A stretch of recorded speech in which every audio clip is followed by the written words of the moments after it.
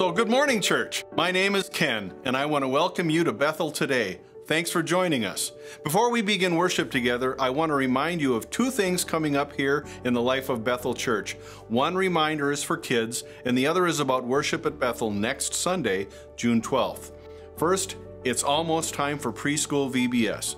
The theme for Vacation Bible School this year is Heyday, growing in friendship with Jesus. VBS is for all kids ages 3 through kindergarten and will be held at the Bethel Fergus Falls campus on June 14th through the 16th. Parents and grandparents, are the kids in your life signed up yet? Do they have friends that might like to be invited? There's still plenty of time to make sure that the children in your life are signed up to come and hear about Jesus. Look for more information on the Bethel app or website to register. VBS is going to be awesome, and we hope to see you there. Also, I want to give you a quick update on the worship schedule for next Sunday, June 12th. In Battle Lake, we will be having one worship service on Sunday the 12th. This service will be outdoors on Bethel's new property at 10:30 a.m. After worship in Battle Lake, there will be lunch and fellowship opportunities starting at 12 p.m. at Lions Park. And in Fergus Falls on June 12th, we will be having two worship services instead of three. The two services that day will be offered at 9:15 and 10:30 a.m. These changes to our Bethel worship schedule are just for next week on Sunday the 12th. So we will look forward to seeing you then outside in Battle Lake at 10:30 or in Fergus Falls at either 9:15 or 10:30. Let's turn our attention now to God as we enter into worship. Hear these words from Nehemiah chapter 9. You alone are the Lord you made the heavens, even the highest heavens, and all their starry host, the earth and all that is on it, the sea and all that is in them. You give life to everything, and the multitudes of heaven worship you. Church, what an awesome thought that the multitudes of heaven are in constant worship of Jesus, and we get to join in now as God's children, worshiping Him who made all of creation. Let's lift our voices together and give Him praise.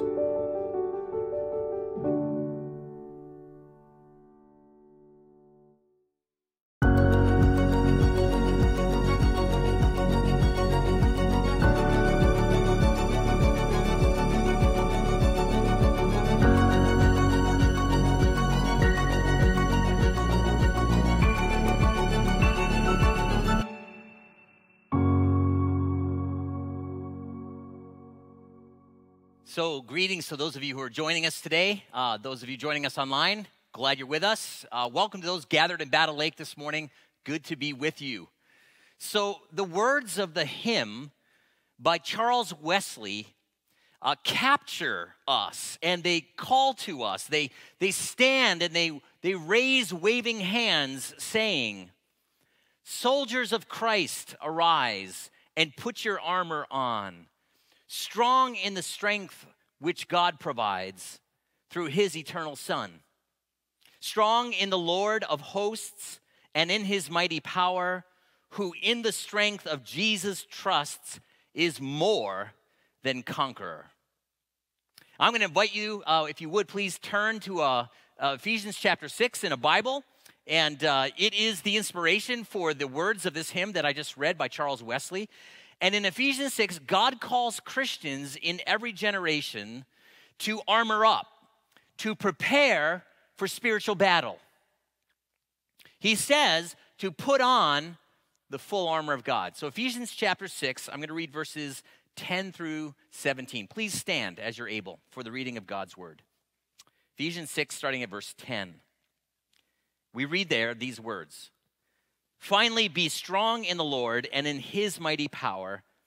Put on the full armor of God so that you can take your stand against the devil's schemes. For our struggle is not against flesh and blood, but against the rulers, against the authorities, against the powers of this dark world, and against the spiritual forces of evil in the heavenly realms. Therefore, put on the full armor of God so that when the day of evil comes, you may be able to stand your ground. And after you have done everything, to stand. Stand firm then, with the belt of truth buckled around your waist, with the breastplate of righteousness in place, with your feet fitted with the readiness that comes from the gospel of peace. In addition to all this, take up the shield of faith. Take up the shield of faith with which you can extinguish all the flaming arrows of the evil one. Take the helmet of salvation and the sword of the Spirit, which is the Word of God. Would you bow your heads and pray with me? Uh, Lord, uh, we pray now that as we turn to your Word, it may be your voice and only your voice, your thoughts and only your thoughts, your heart and only your heart that we hear and understand. Grant that we might hear your promptings and pleadings, that we might receive your words and accept your welcome. So we pray this now in Jesus' name. Amen. Amen. Please, you may be seated. Our focus today is on what Paul says to take up the helmet of salvation. He, he writes, Take the helmet of salvation. And so we need to begin to consider at the very outset what does a helmet do and what can a helmet not do? What is not its purpose? Uh, a helmet does not prevent blows to the head. Just because you're wearing a helmet doesn't mean you're not going to get hit on the head. Uh, a helmet is in place to try to keep the blow to your head from killing you. I mean, that is the point of a helmet to keep you from serious harm and death. This is, this is the point. Helmets. What a great great invention.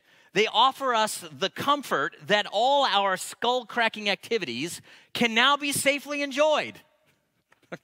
There's lots of things we do that are cracking our heads, and rather than decide not to do it anymore, we just say, now I can do it wearing this thing on my head. That's, uh, that's actually the comedy routine. Have you seen Jerry Seinfeld?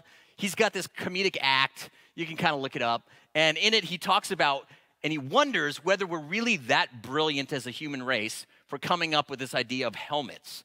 Actually, actually, I want you to take a look at take take a look at this. You point to as proof that the human being is not smart. The helmet is my personal favorite. The fact that we had to invent the helmet. Now, why did we invent the helmet? Well, because we were participating in many activities that were cracking our heads. We looked at the situation. We chose not to avoid these activities, but to just make little plastic hats so that we can continue our head cracking lifestyles. the only thing dumber than the helmet is the helmet law, the point of which is to protect a brain that is functioning so poorly, it's not even trying to stop the cracking of the head that it's in. So, yeah, right? We've got all kinds of helmets today, don't we? Think about it for a second. How many different kinds of helmets do you have in your house? I was thinking of different helmets. You've got motorcycle helmets and bicycle helmets, welding helmets out in the garage, maybe, hockey helmets, football helmets, firefighter helmets, skateboarding helmets, ski boarding, uh, snowboarding, and ski helmets. I mean, all kinds of helmets. And all of those helmets, in my opinion, make sense. They all seem on some level to make sense. There is, there is one helmet, however, that is a bit curious to me, and it gives me pause, and I wonder about it. And it is the skydiving helmet. Everybody, just think about that for a second. The skydiving helmet. Uh, Seinfeld actually makes fun of this too. He, he makes fun of the skydiving helmet, saying that if you jump out of a plane and your chute doesn't open, the helmet is now wearing you for protection, right? That is so true. The helmet is now wearing you You are what softens the blow for this for the skydiving helmet.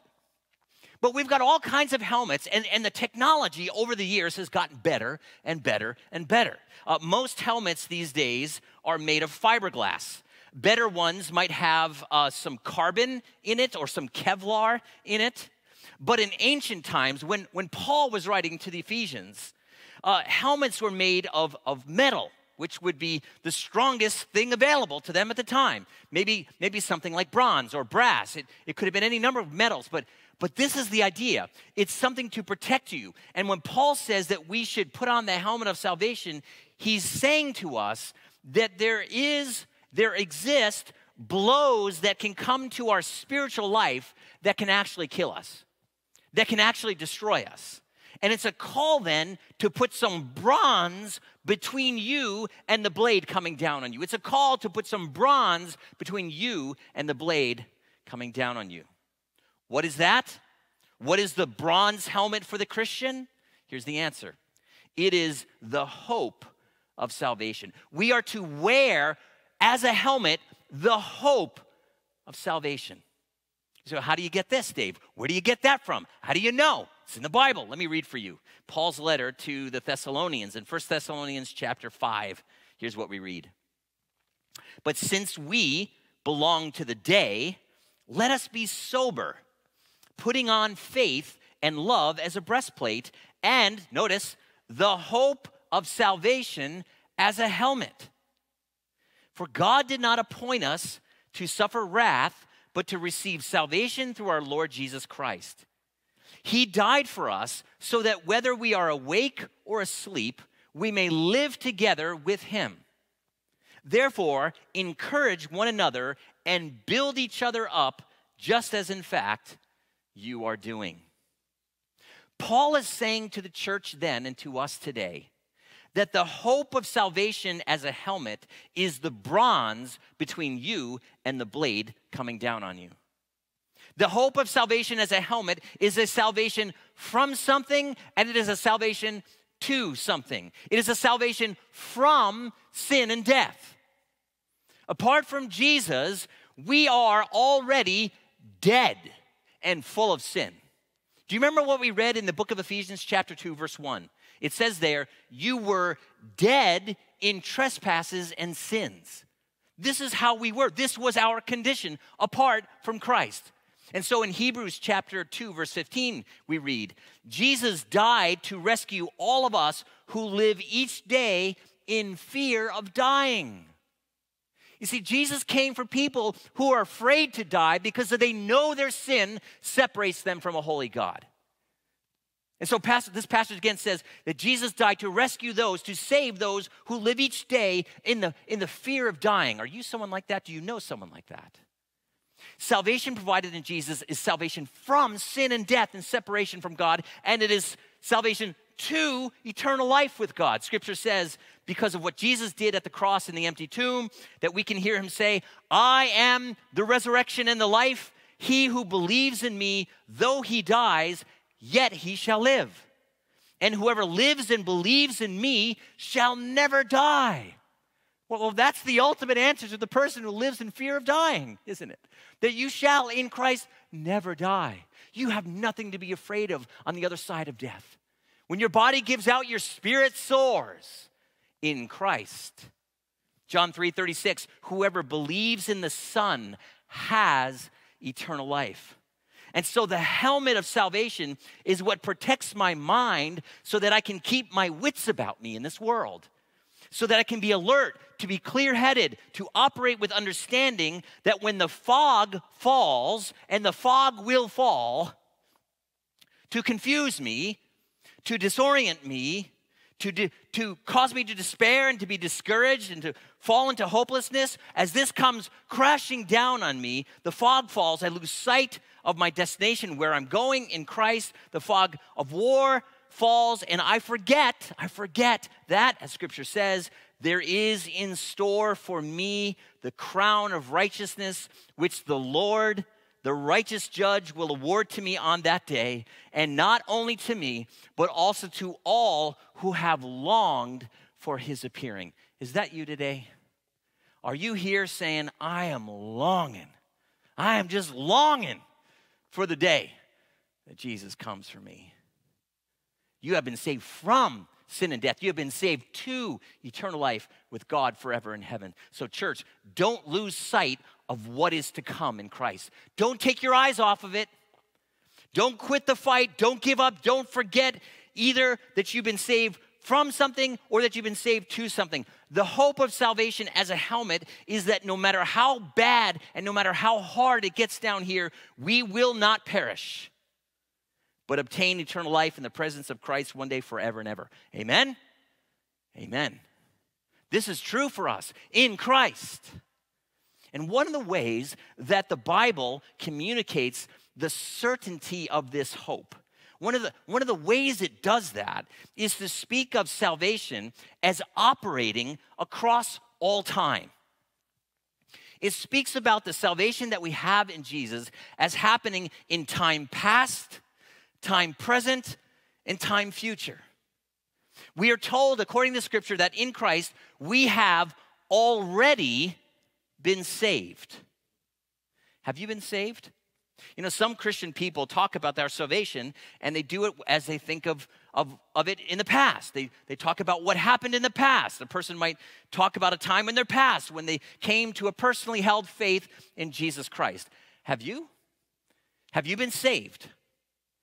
Maybe it was this life transforming, trajectory changing encounter with the gospel of Christ. The penny dropped, the light bulb went on, and you were saved. You were rescued by Jesus from your sin and from death, eternal separation from God forever. You, you've been saved. Have you been saved? And, and maybe it wasn't an event for you. Maybe it, maybe it, maybe it happened over time, like, like the blossoming of a flower, right? There was a seed, and then a shoot, and then a, a bud, and a petal, and a, another petal, and another petal, and then it's ultimately a flower. And you're going, that's the way it was for me. I'm not sure which petal opened up to faith, but all I know is I'm the flower. God made me what I was not, I am now. I have been saved, I have been made new. The Bible speaks of salvation as happening in the past, just like that.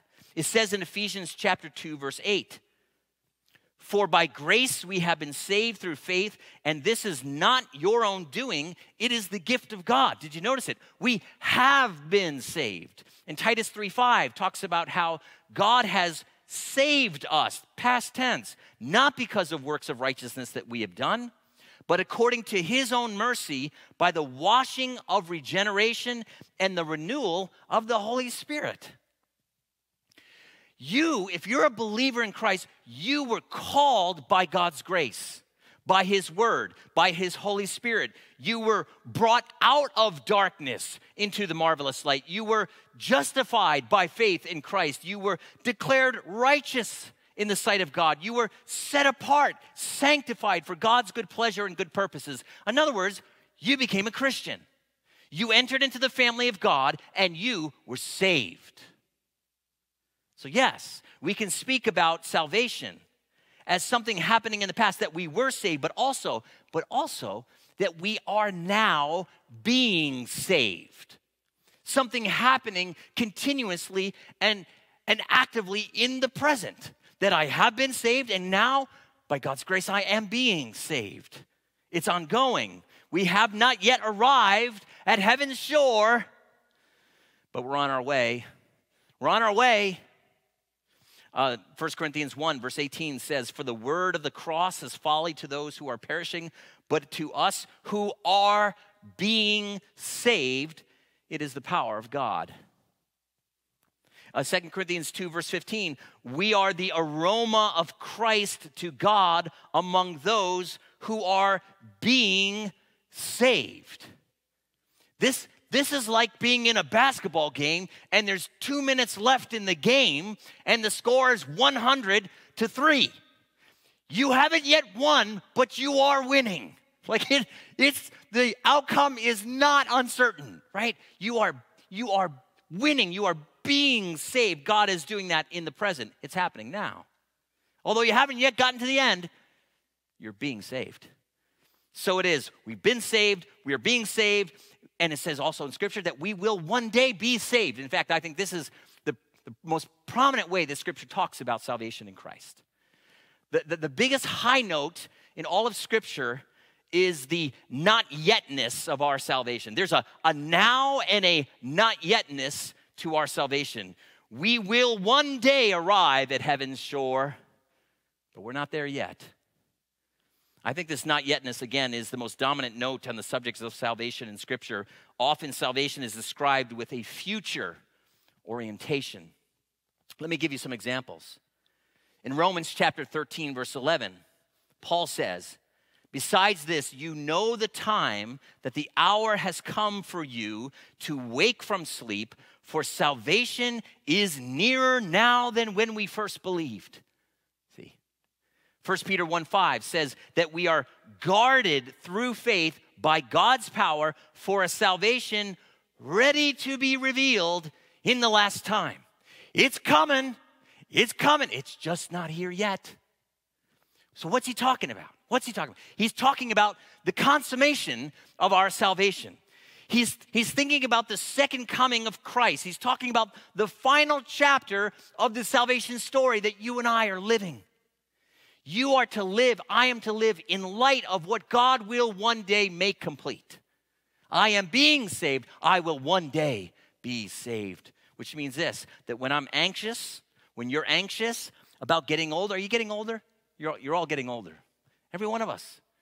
And maybe someday you're at, or maybe you're there now. You're getting to the point where you're, you're, you're, you're at that age or that situation in your health where you feel like death is not far. And maybe, just maybe, you're anxious about that. What does God say to you? What, what helmet of salvation do you place on your head? You place this on, Isaiah 46. Even to your old age and gray hairs, I am He. I am he who will sustain you. I have made you, and I will carry you. I will sustain you, and I will save you. What a good word. You getting old? you feeling old? God says, I will save you. Because you're not feeling very strong, are you? But I will save you, God says. What about when I'm anxious about what comes after death?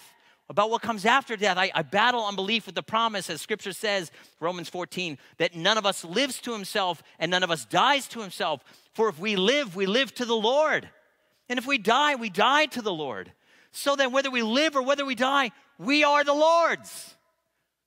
I belong to him. I'm his kid. What have I got to be worried about? What have I got to be worried about?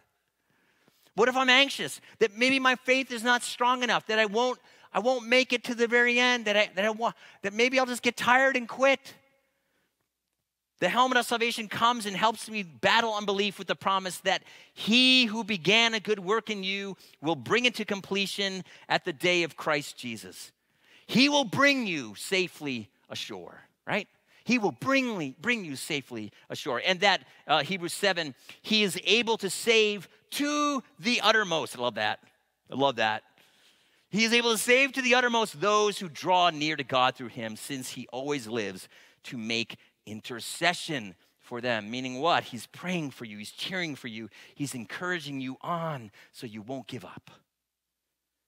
You see, the hope of salvation as a helmet is the bronze between you and the blade coming down on you. It is a hope that while we are not yet there, by faith we can see the shores of heaven and we can stay in the battle.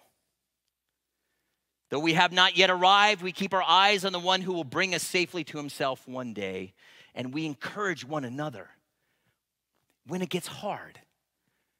And we cheer one another on when we're tired. Know, this reminds me of a, of a story, the story of a woman named Florence Chadwick. And I'll close with this. I want you to take a look at this picture. Have a look at this picture. See this? This is, this is Florence Chadwick. Uh, in 1950, she broke the record uh, swimming the English Channel from France to England, which is over 20 miles, in just over 13 hours. Can you imagine swimming for 13 hours? Oh my goodness. It's hard enough to drive for 13 hours. swim 13 hours. A year later, she swam in the opposite direction from England to France in just over 16 hours. Can you imagine swimming for 16 hours? When they have you tread water, they do it for five minutes. At five minutes, you're like, whoa, glad I'm done. Swimming for 16 hours. Two years later, Florence, a Southern California girl herself, decided to swim from the coast of California to Catalina Island. Have you ever been to beautiful spot, by the way? Fully recommend you go visit Catalina Island one of these days. It's 26 miles off the coast of California. On, when the smog isn't there, you can stand on the beach and you can look out and you can, you can see it. And there it is, right? If the smog isn't there. Uh, anyway, 26 miles to, to Catalina.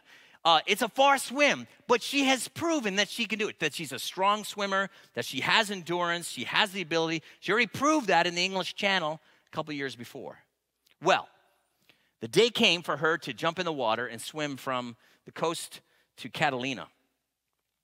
And as she was swimming, a horrible fog, not smog, but a fog rolled in, and she couldn't see in front of her. She, she, she couldn't see where she was going. She couldn't see ahead of her. She couldn't look ahead and see the shore of the island. By this time, she had been in the water for 15 hours. Again, can you, can you imagine swimming that long?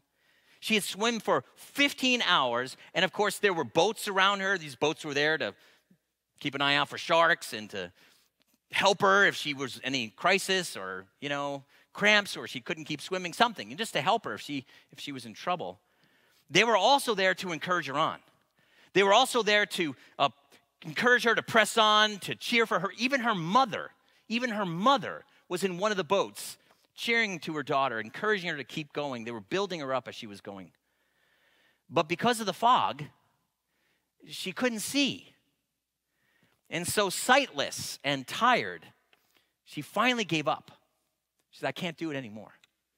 So they pulled her into the boat. And when she got into the boat and they went a little further ahead, it was there that they could see, as the fog lifted and the sight of shore became apparent, that she was less than a half mile from shore. This woman had gone 25.5 of the 26 miles, but fell short. Unbelievable. Unbelievable. Later, when she was asked about this, she said, All I could see was the fog. I think if I could have seen the shore, I would have made it. She lost hope. She gave up because she lost sight of the shore. Two months later, she tried again. And the same thick fog set in, but this time she made it because, she said, this time, though she couldn't see it with her eyes, she kept a mental image of the shore in front of her the whole time as she swam. Though she couldn't see it with her eyes, she knew where she was heading. Brothers and sisters, it's the same for you and me. The battle, battle is sometimes long and sometimes not very easy, and it's easy for us to lose sight of the shore. Take the helmet of salvation. Let it guard your hearts and your minds in Christ Jesus, and let's encourage one another, reminding each other that heaven's shore is not far. Let us, scripture says, be sober, putting on faith and love as a breastplate, and the hope of salvation as a helmet. Would you pray with me? Lord, uh, thank you for this, your word. Thank you that according to your word, uh, you did not appoint us to suffer wrath, but to receive salvation through Jesus. That you died that we may live with you. And now you encourage us to encourage one another, to build each other up. Thank you, Lord. Thank you for this word, which encourages us. Help us to take the helmet of salvation, which is the hope of salvation. And Lord, come for us. One day, come back to bring us home. We long for that day. Thank you. In Jesus' name, amen. So now may the Lord bless you and keep you. May the Lord make his face to shine upon you and be gracious unto you. May the Lord turn his face toward you and give you his peace. In the name of the Father, and of the Son, and of the Holy Spirit. Amen and amen. God's peace be with you.